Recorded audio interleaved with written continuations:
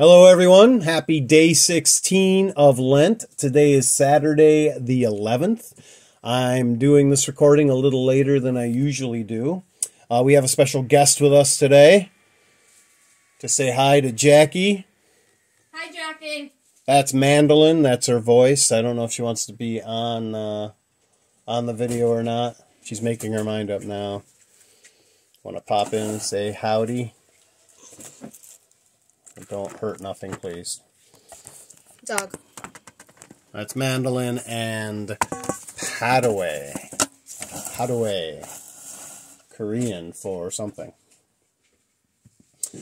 Uh, so, can you close that, please? Yeah. Thank you.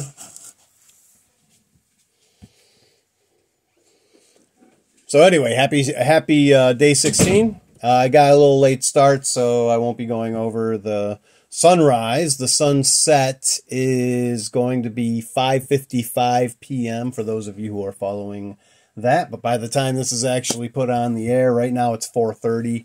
Uh, this probably won't go up until right around 5:55 because it takes a while to download onto YouTube. But Anyway, so we are doing day 16 of the From the Grave devotional, a Lent devotional uh, by A.W. Tozer. Um, so if you want a copy of that, you can find those online, mostly on Barnes & Noble. That's the one I have. The ones on Amazon, they don't have the full copy. They only have the sample version, which they will charge you for if you're not careful. So don't do that. Day 16 the blessedness of possessing nothing. Blessed are the poor in spirit, for theirs is the kingdom of heaven. Matthew 5 3.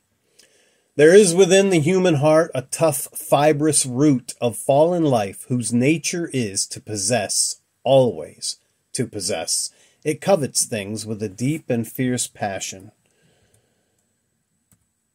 The pronouns my and mine look innocent enough in print but their constant and universal uses are significant. They express the real nature of the old Adamic man better than a thousand volumes of theology could do. They are verbal symptoms of our deep disease. The roots of our hearts have grown down into things, and we dare not pull up one rootlet lest we die. Things have become necessary to us, a development never originally intended. God's gifts now take the place of God, and the whole course of nature is upset by the monstrous substitution.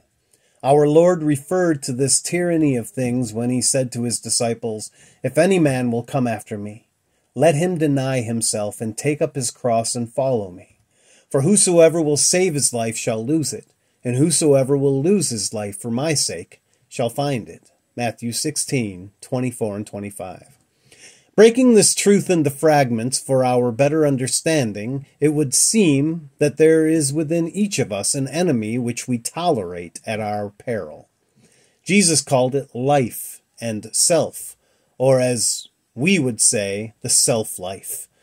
Its chief characteristic is, it, is its possessiveness. The words gain and profit suggest this.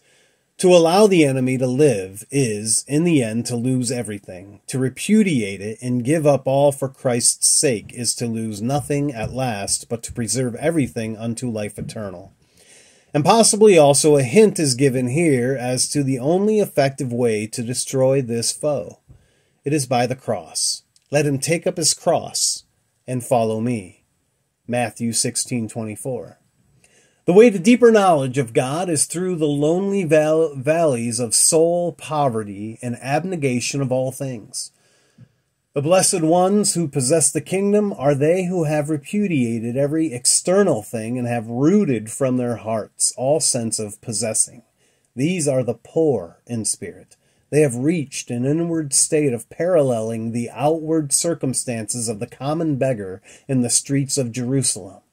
That is what the word poor, as Christ used it, used it actually means. These blessed poor are no longer slaves to the tyranny of things. They have broken the yoke of the oppressor, and this they have done not by fighting, but by surrendering. Though free from all sense of possessing, they yet possess all things. Theirs is the kingdom of heaven. Let me exhort you to take this seriously. It is not to be understood as mere Bible teaching to be stored away in the mind along with an, along with an inert mass of other doctrines. It is a marker on the road to greener pastures, a path chiseled against the steep sides of the Mount of God. We dare not try to bypass it if we would follow on at this holy pursuit. We must ascend a step at a time. If we refuse one step, we bring our progress to an end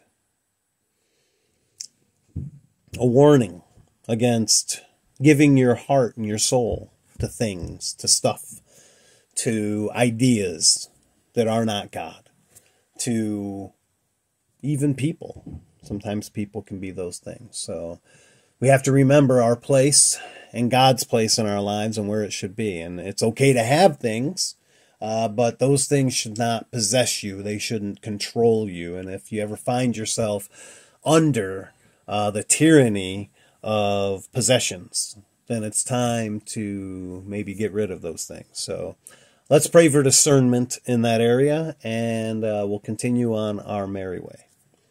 Lord, uh, we praise you uh, for the things you have given us, Father God. We thank you for the things you have uh, shown us and, and used uh, for our betterment, Father. But Lord, we do pray that you would give us mastery over those things, that you would uh, help us to have a mind to use them only for your sake, Father God, and not our own.